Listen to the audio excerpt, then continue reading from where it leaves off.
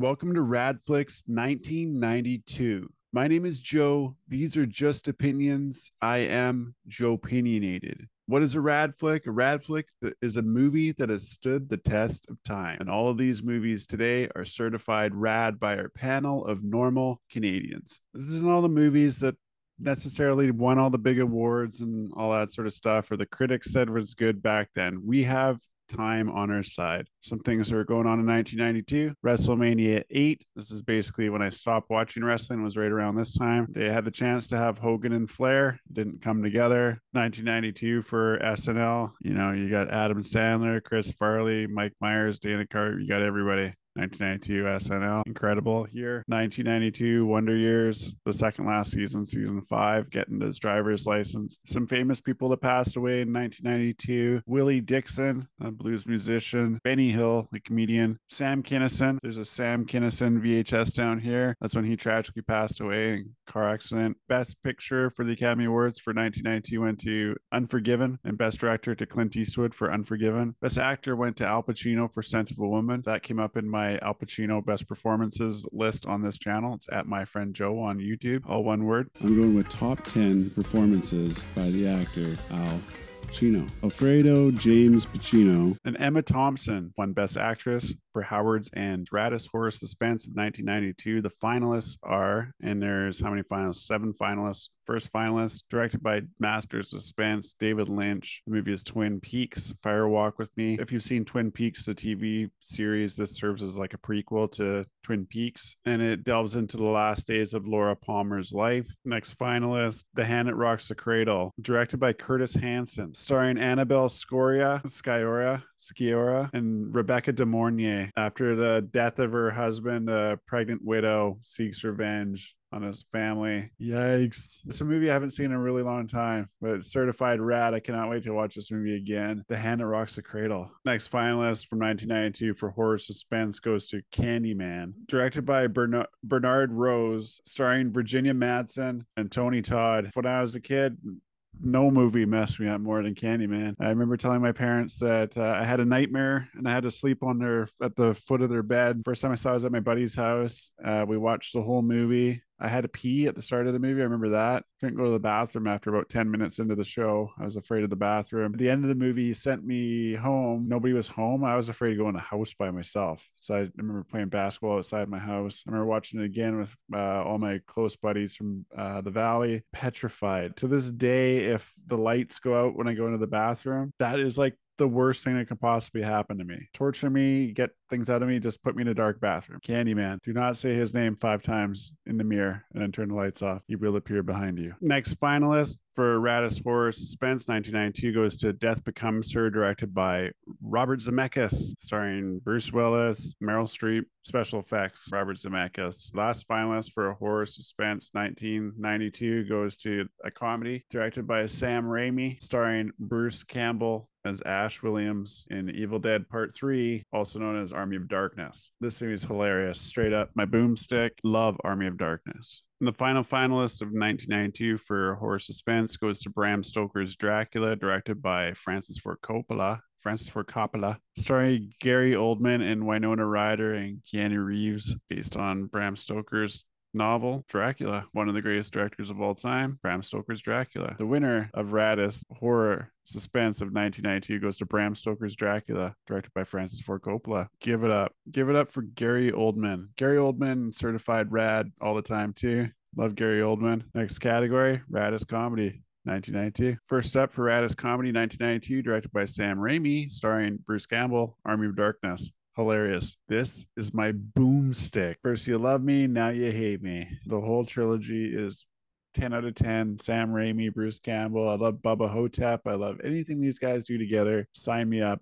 Entertained, start to finish. Up next, Raddest Comedy 1992. It's in the stack behind me right there. My Cousin Vinny, starring Joe Pesci and Marisa Tomei, directed by Jonathan Lynn. Amazing movie. Ralph Macchio, from Karate Kid as well. You want to get a good movie? You want to have you seen My Cousin Vinny? You're gonna laugh. You're gonna like this movie. It's great. Marisa Tomei won an Academy Award for this. Up next for Raddest Comedy 1992. It's also behind me over there. Wayne's World, starring Mike Myers and Dana Carvey. Wayne's World, party time, excellent.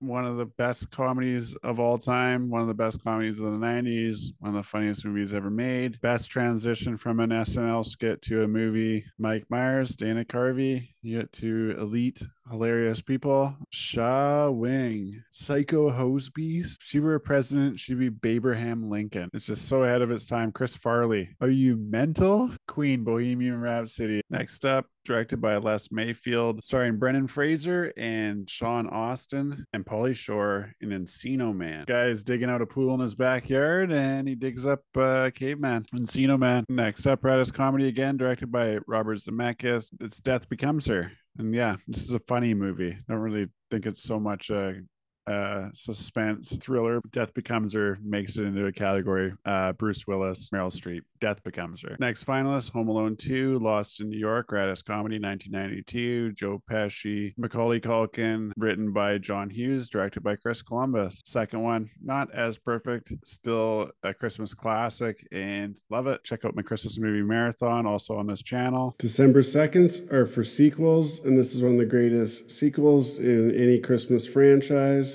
Home Alone 2 Lost in New York. Got to watch Home Alone 2 on the 2nd. Playlist in the description for all the trailers mentioned in this episode. Check me out on Patreon, all that sort of stuff. Up next, directed by Ron Shelton, starring Woody Harrelson and Wesley Snipes and Rosie Perez in White Men Can't Jump. Billy and Sydney, two streetwise basketball hustlers, form a partnership to swindle people out of their money. Next up, directed by Robert Altman, The Player, Greta Scacchi, and Tim Robbins. Uh, Hollywood studio executive gets involved in a web of murder. Can't say I've ever seen it. Panel of normal people have voted into the finals for Raddest Comedy. Up next, finalist for 1992 Raddest Comedy goes to another Tim Burton, Tim Robbins movie, and the movie is Bob Roberts. This one's directed by Tim Robbins. Mockumentary style satire about this guy, Bob Roberts, charismatic folk singer, politician running for U.S. Senate. Finalist for Raddest Comedy of 1992. Winner of Raddest Comedy 1992 goes to this one, Wayne's World. Runner up going to My Cousin Vinny and third place runner up going to Army of Darkness. All right, finalists for Raddest Action Sci Fi Adventure in 1992 are Alien 3, directed by David Fincher. Ah, that's cool. I didn't realize that. Starring Sigourney Weaver as Ellen Ripley. I think this is the first Aliens that I actually watched was Aliens 3. They get David Fincher, James Cameron, and Ridley Scott for the first three movies. Up next, Steven Seagal's next big movie is Under Siege, co starring Tommy Lee Jones, directed by Andrew Davis. Die Hard on a Ship. I remember, that's what people were calling it. Tommy Lee Jones plays the bad guy. Steven Seagal plays a cook, some elite guy, but he's also a chef. So he's really good with knives. Next finalist, Raddest Action Sci Fi Adventure 1992 goes to Patriot Games. Now, this is one of the, in the Jack Ryan series of books, directed by Phillip Noyce, starring Anne Archer and Harrison Ford. I wouldn't be surprised if you see it. So this is like my movie collection when I was probably 19 or 20. Next finalist for Action Sci-Fi Adventure 1992 goes to Universal Soldier, starring Dolph Lundgren and Jean Claude Van Damme, directed by Roland Emmerich. Basically, these two guys are resurrected from the dead, and then they remember who they were and who, who wronged them in their previous lives. Next up, this one came up in uh, my Tim Burton countdown. Batman franchise with Batman Returns. Batman Returns, but Danny DeVito, Michelle Pfeiffer, uh, co-star with Michael Keaton in this one. Penguin and Catwoman, certified rad finalist, action sci-fi adventure. Next one up is right in the very bottom. It's pink. Next up, Reservoir Dogs, directed by Quentin Tarantino, finishes in the raddest action sci-fi adventure movies of 1992. Eh, okay. I think the number one thing to critique it would be that there's not enough action. Starring Harvey Keitel, Tim Roth, Michael Madsen, Chris Penn. It's a heist movie, but it's about post-heist meeting up and things didn't go the way they planned. Incredibly violent, some would say incredibly slow. It's slow for some people. For me, it's one of the greatest movies ever made, Reservoir Dogs. Next up for action sci fi adventure, uh, Unforgiven. Once again, this is another movie that I don't really think of as an action sci fi, maybe a bit of adventure. Directed by Clint Eastwood. Clint Eastwood, of course, cleaned up at the Oscars for this one. Co starring Gene Hackman, Morgan Freeman. Next finalist goes to Army of Darkness, directed by Sam Raimi, starring Bruce Campbell. Third consecutive category. Final finalist for action sci fi adventure goes to The Last of the Mohicans, directed by Michael Mann, starring Madeleine Stowe and Daniel Day Lewis. And the winner goes to Batman Returns, directed by Tim Burton, starring Danny DeVito, Michelle Pfeiffer, and Danny DeVito, Michelle Pfeiffer, and uh, what's his name? Batman Returns. Michael Keaton. Uh, Tim Burton around my house is uh, celebrated, certified rad regardless of what he does. And uh, this is one of his better movies. Sadly, the last one directed by Tim Burton, but he also he produced Batman Forever. The runner-ups are Reservoir Dogs and Army of Darkness. A couple of those that didn't make it uh, into action sci-fi adventure. Super Cop, starring Jackie Chan, Super Cop, and Trespass. That was one with Ice T, Bill Paxton. Next up, Family Movie Night. First movie in Family Movie Night is Batman Returns, directed by Tim Burton starring all those people we already talked about three times. And next, Family Movie Night, A League of Their Own, directed by Penny Marshall, starring Geena Davis and Tom Hanks. The all women's baseball league formed during World War II. We are members of the All American League, come from cities near and far. Betty Spaghetti, Madonna, uh, Rosie O'Donnell. Remember watching this one in the theater on Salt Spring Island as well. Next finalist family movie night goes to Aladdin from Disney. Disney's Aladdin and I think uh, Robin Williams, of course, playing the genie in Aladdin. I'm not sure who plays the other people. The music's incredible in Aladdin. One of my most watched Disney movies is Aladdin, and the soundtrack is one that gets played around our house a lot. Extratus family movie, Home Alone 2, Lost in New York, directed by Chris Columbus, written by John Hughes, starring Macaulay Culkin, Joe Pesci, Daniel Stern. Next up from Bill Kroyer, it's Fern Gully, The Last Rainforest, Raddest Family Movie Night finalist for 1992. After that, we have Christian Bale in Newsies as Raddest Family Movie Night finalist for 1992, directed by Kenny Ortega, also starring Bill Pullman, based on a true story in 19 or 1899 newsboys strike in New York City. Next finalist for RadFlicks Raddest Family Movie 1992 goes to My Cousin Vinny, Jonathan Lynn, starring Marisa Tomei and Joe Pesci. Next finalist, Raddest Family Movie Night. Uh, it's already been mentioned, directed by Les Mayfield. The movie is Encino Man, starring Pauly Shore, Brendan Fraser, and Sean Astin. Encino Man. A lot of family movie options from 1992. Three Ninjas. I don't actually think I saw it, but I remember the three kids on the cover doing jump kicks. Next up, starring Joshua Jackson and Emilio Estevez, directed by Stephen Herek. I'm pretty sure it's Disney the Mighty Ducks. Story about a kid's hockey team. I'm from Canada. This movie led to an NHL hockey franchise. Next up for Raddest Family Movie 1992, Death Becomes Her, also been mentioned multiple times, directed by Robert Zemeckis. And another finalist story for Family Family Movie Night of 1992 goes to Batman Returns, directed by Tim Burton. Also Beethoven, Beethoven, the story of the Saint Bernard, finalist for Raddest Family Movie 1992. Porco Rosso, also from Studio Studio Ghibli, and I got really mad because I forgot to mention Kiki's Delivery Service in 1989, but Porco Rosso, Studio Ghibli, 1992. Shout out to Studio Ghibli. The winner for Raddest Family Movie of 1992 goes to Aladdin from Walt Disney Studios. I actually remember this as being the first movie I ever fell asleep at in the theater. Probably a little bit too old for this one. Runner up for Raddest Family Movie of 1992 goes to Home Alone 2, so a Christmas one. Next up, Raddest Drama, 1992. Finalists, we got a bunch again, so I'm just kind of whip through them. First one is Scent of a Woman, directed by Martin Brest, starring Chris O'Donnell and Al Pacino. Check out my Al Pacino list on this channel. It's at my friend Joe on YouTube. In 1992, Al Pacino won a Best Actor Oscar. Frank Slade in Scent of a Woman. Love Al Pacino. I love this role. I love this movie. Lonely blind man spending a weekend on the town. Next up, Unforgiven, finalist for Raddest Drama. That's oxymoron. Unforgiven, uh, Gene Hackman, Morgan Freeman, Clint Eastwood. Western, it kind of brings you back to the classic westerns of the 70s and six, late 60s, which Clint Eastwood was a part of many of them, especially the Spaghettis, uh, the and uh, yeah, Sergio Leone's amazing movies, and Unforgiven is not quite as good as those movies, almost. Next up, Raddest Drama there in the stack behind me. Reservoir Dogs, Quentin Tarantino, one of the greatest scripts ever. Tim Roth, Chris Penn is incredible. Michael Madsen's great. Harvey Keitel, Steve Buscemi. I mean, I bought the Mr. Pink version. You could buy different color DVDs when they came out, and I went with Steve Buscemi. Up next, Raddest Drama, Last of the Mohicans, directed by Michael Mann, Madeleine Stowe, and Daniel Day Lewis. Next, finalist, Raddest Drama, A Few Good Men, starring Tom Cruise and Jack Nicholson, directed by Rob Reiner. He just has so many movies on RadFlicks. You can't handle the truth. Jack Nicholson episode on this channel. Number nine, all time Jack Nicholson performances Colonel Nathan Jessup in 1992's A Few Good Men. Number nine, all time, to opinionated list, I'm going with A Few Good Men. Like and subscribe. Next finalist, directed by Paul Verhoeven, starring Sharon Stone and Michael Douglas in Basic Instinct. A detective becomes uh, involved, entangled in a dangerous game of cat and mouse with the seductive novelist who may have been involved in a series of brutal crimes. We talked about Fatal Attraction in the past. Very rated R. Sharon Stone's just a titan. Everything she's ever been in. I love Sharon Stone as an actress, one of the best ever. Next finalist is The Bodyguard, starring Whitney Houston and Kevin Costner directed by Mick Jackson. So it would have been David Spade in 1992. Was it Spade in America on SNL? I remember when he did this, The Bodyguard, the movie review. Went saw The Bodyguard in a weekend and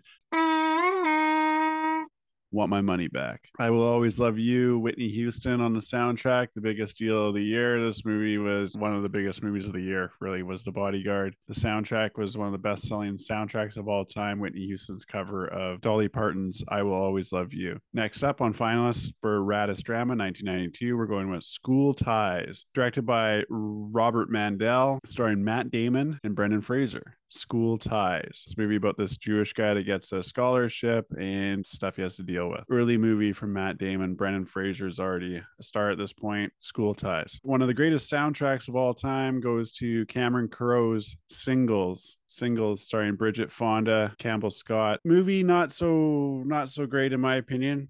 The sing the soundtrack was incredible and I love Cameron Crowe, and he's just so good at these young people movies. We've had Cameron Crowe obviously on the list before, and we'll get him again. I mean, his story is immortalized in that movie, almost famous. Yeah, he worked for Rolling Stone as a kid. Up next, Raddest Drama, A League of Their Own, directed by Penny Marshall, Tom Hanks, Geena Davis, Madonna, Rosie O'Donnell. Next, Glenn Glengarry Glen Ross, directed by James Foley, starring Jack Lemmon, Al Pacino, uh, Alec Baldwin, group of salesmen, and they need to close as many deals as possible to save their jobs. Overall, great movie. Next up again is The Player, starring Tim Robbins, finished finalist for Raddest Drama, directed by Robert Altman, and final finalist for Raddest Drama, directed by Woody Allen. There's a Woody Allen episode on this channel. Today on Joepinionated List, Movie Edition, I'm getting ready to count down the top 10 movies from writer, director Woody Allen starring Woody Allen and Mia Farrow. It's Husbands and Wives, one of his classics. Like every other Woody Allen movie, couples breaking up, cheating on their wives, exploring infidelity. And the winner of Raddest Drama 1992 goes to Reservoir Dogs, directed by Quentin Tarantino. This one right here, Mr. White, Mr. Brown, Reservoir Dogs, winner of Raddest Drama. Runner up goes to Unforgiven, directed by Clint Eastwood. Next up on RadFlicks, uh, we're going to tell you a little bit more about the Normal People panel that we have voting on Raddest Flicks of 1990 two. this one we got Scott. Scott was a close friend of mine that taught me a lot about music and movies. So Scott, for most watched for 1992, he's got in second place Batman Returns, and in first place Twin Peaks Fire Walk with Me. Most watched for Jesse, third place Wayne's World, second place Reservoir Dogs, and his most watched movie of 1992 is Home Alone 2. Most watched for Bob, third is Aladdin, Second is Batman Returns, and most watched is Wayne's World. Most watched for Caro For runner up, she has The Bodyguard. For most watched in 1992, she's got Wayne's World. Most watched for Ian. Third place, Reservoir Dogs. Second place, Wayne's World. And most watched for 1992 for Ian is Unforgiven. For myself, third most watched is Army of Darkness. Second most will be Home Alone 2. And most watched for myself is the movie Sneakers. Sneakers is one of my favorite movies growing up, period. Starring Robert Redford, River Phoenix, Sidney Poitier, Dan Aykroyd, Ben Kingsley. My name is Werner Brandes. My voice is my passport. Verify. I used to watch that movie all the time. The most watched for the group is Wayne's World, with runner up being Home Alone 2. Final category Raddest movie of 1992. The finalists for Raddest movie of 1992 are My Cousin Vinny, Wayne's World, Reservoir Dogs, The Last of the Mohicans, Unforgiven, Basic Instinct, Batman Returns, Twin Peaks, Fire Walk with Me, and Sneakers. The winner of Raddest Flick 1992 goes to Reservoir Dogs. Raddest Flick of 1992. Reservoir Dogs, Raddest movie of 1992. Rad Flick certified. And a runner up for Raddest Flick 1992 goes to Unforgiven, directed by Clint Eastwood. Well, that does it for Rad Flicks 1992. Just want to thank you again. Remember to like, comment, subscribe, tell us your picks. There's a link to the trailer playlist below in the description so you can just watch all the trailers for all the movies we just mentioned. Click on that link. Also, check out my channel, check out my Patreon, check me out on all social media. Find me, uh, hashtag Joepinionated. Love to find out more what you think. Be normal, live and let live. Feel free to gank my list. I won't rat you out. Thanks to the panel of normal people. And I'm sorry I'm a little low on facts and high, high on, opinions. on opinions. Respect to the raddest movie of 1992, Reservoir Dogs. Quentin Tarantino. Catch you on the next one.